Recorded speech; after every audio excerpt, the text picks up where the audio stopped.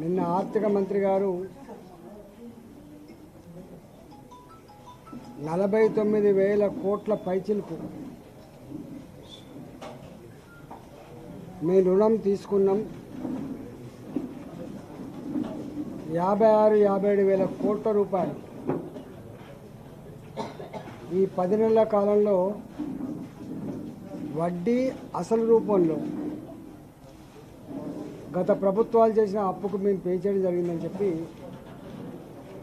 వారు గౌరవ మంత్రి సీతక్క గారు నిన్న ప్రకటించడం జరిగింది. ఒకవైపేమో రాష్ట్ర ప్రభుత్వ ఆదాయం తగ్గిపోతుంది. ముఖ్యమంత్రి గారి అనాలోచిత చర్యల వల్ల ఎవరికి విననటువంటి ఆయన యొక్క అహంకారం వల్ల హైదరాబాద్లో వచ్చిన హైడ్రా కావచ్చు మూసి ప్రక్షాళన కావచ్చు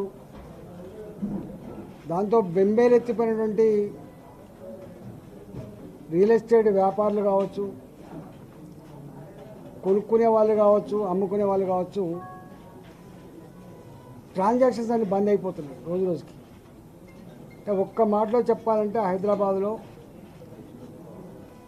ఎక్కువ ఆదాయం వచ్చినటువంటి మార్గాలన్నీ కూడా రోజు రోజుకి సన్నగిలిపోతూ రుణమాఫీ. రెండు లక్షల రూపాయల లోపు రుణమాఫీని.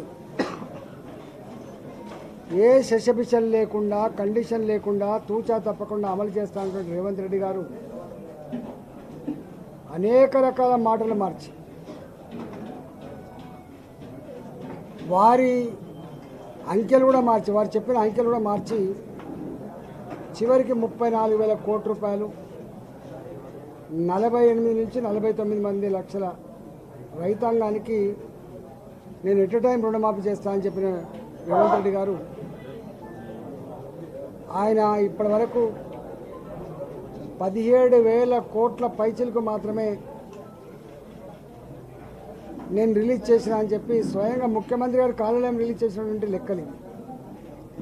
ఇరవై ఒక్క లక్షల మందికి మాత్రమే మేము పే చేసామన్నారు మరి వాళ్ళ లెక్కల ప్రకారం నలభై లక్షల మంది అని చెప్పిండ్రు. ముప్పై నాలుగు వేల కోట్లు అని చెప్పిండు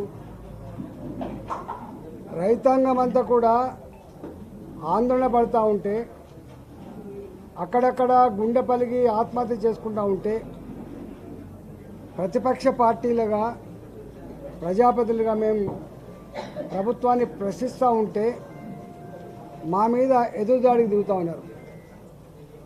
ఇవాళ అగ్రికల్చర్ మంత్రి గారు నేను చూసిన ఈ దీపావళి లోపు ఇంకొక నాలుగు లక్షల మందికో ఐదు లక్షల మందికో మేము రుణమాఫీ చేస్తామని చెప్తా ఉన్నారు. మేము చెప్పిన మాట కాదు. మీరే రెండు లక్షల రూపాయల రుణమాఫీని ఏ కండిషన్ లేకుండా వన్ ఒకటేసారి పే చేస్తా అని చెప్పిన మీరు ఇవాళ మీరు ఫుల్ఫిల్ చేయకపోతే మేము అడిగినందుకు మా మీద దాడి చేయడమే కాకుండా ఇవాళ దీపావళి లోపు నాలుగు లక్షలు చేస్తాం ఇంకో అప్పుడు నాలుగు లక్షలు. ఒక్క హామీని అమలు చేయాలని మీరు రేపు ఇన్ని హామీలు అమలు చేస్తుంటే విశ్వాసం ఎక్కడుందో ప్రభుత్వ పెద్దలు చెప్పాలని చెప్పి నేను కోరుతా ఉన్నా. ఇప్పటి వరకు వర్షాకాలంలో ఇచ్చేటువంటి రైతు బంధు కూడా రాలే. ఆనాడు కేసీఆర్ ప్రభుత్వం ఎకరానికి ఐదు వేల రూపాయలు చొప్పున రెండు పంటలకు పదివేల రూపాయలు ఇస్తే వీరేమో ఇంకొక అడుగు ముందుకేసి కేసీఆర్ ఏమి ఇస్తున్నాడు దానికంటే ఐదు వేల రూపాయలు ఎక్కువ ఇస్తామని చెప్పి ఇవాళ రైతాంగానికి మాత్రమే కాకుండా కౌలు రైతాంగానికి కూడా ఇస్తా అని చెప్పినటువంటి ప్రభుత్వం ముఖ్యమంత్రి. ఇంతవరకు రైతు బంధు లేదు. కౌలు రైతుల ఊసు లేదు. ఎప్పుడు ఇస్తారో ఇది ఉందా లేదా కూడా తెలియని పరిస్థితి వచ్చింది. రెండవ పంట రాబోతుంది రేపు అక్టోబర్ నవంబర్ తర్వాత మన రెండవ పంట రాబోతుంది. రైతు బంధు పేరిటనే రైతాంగానికి దాదాపు పదమూడు వేల కోట్ల రూపాయలు వస్తాయి రెండు పంటలకు కలిపి. మరి ఆ రెండు పంటలకు వచ్చేటువంటి పదమూడు వేల కోట్ల లెక్కలేదు ఇవాళ కౌలు రైతుల యొక్క ఊసు లేదు. రెండు లక్షల రూపాయల రుణమాఫీ సంపూర్ణంగా ఎప్పుడు చేస్తారో లెక్కలేదు. మూడు లక్షల రూపాయల రుణం రూపాయి వడ్డీ లేకుండా రైతాంగానికి ఇస్తానది అది దాని విషయం లేదు. ఈ ఐదు వందల రూపాయలు ఇలా వడ్లకు బోనస్ ఇస్తా అని చెప్పి సన్న వడ్లకు మాత్రమే ఇస్తామని చెప్పేటువంటి లెక్క. అసలు వర్షాకాలంలో వచ్చేటువంటి పంట అయితే ఉందో సన్న వడ్లు కొంత తిండి కోసం పోతే రైతాంగం వాళ్ళ సొంత అవసరం కోసం పోతే కొంతమంది వాళ్ళే వ్యాపారం చేసుకుంటూ ఉంటారు. ప్రభుత్వం దగ్గర ఇక్కడ రావు. ఇవాళ ప్రభుత్వం కొనుగోలు చేసేదే కేంద్రాలలో దొడ్డుబాటు తప్ప సన్నబడి చాలా తక్కువ వస్తాయి. ఇవాళ తక్కువ వచ్చే సన్నవాళ్ళకేమో ఐదు వందలు ఇస్తా అని చెప్పి బుకాయించి ఇవాళ లక్షల టన్నులు వచ్చేటువంటి దొడ్డుబాటకు మాత్రం డబ్బులు ఇంతవరకు ఐదు వందల రూపాయల గురించి ప్రస్తావన లేదు. నేను ఒకటే డిమాండ్ చేస్తా ఉన్నా మీరు వంకర టింకర మాట్లాడు బంద్ చేసి తప్పుడు మాటలు కట్టిపెట్టి ప్రతిపక్షాల మీద దాడి చేసుడు పక్కకు పెట్టి నిజాయితీగా నీవు ఇస్తావా లేదా మునిగిపోతే ఆ పంటలు వాటి ఉత్పత్తి రాదు. ప్రొడక్షన్ రాదు కాబట్టి అలాంటి వాటి కూడా అసెస్ చేయమని చెప్పినాం. కానీ ఇప్పటిదాకా తెగిపడ్డ చెరువుల గురించి పట్టించుకోలే పెట్టిన ఇసుక మెడల గురించి పట్టించుకోలే పూతపడ్డ భూముల గురించి పట్టించుకోలే రైతాంగానికి ఎక్కడ నష్టపరిహారం పెద్ద ఎత్తున ఇచ్చింది లేదు.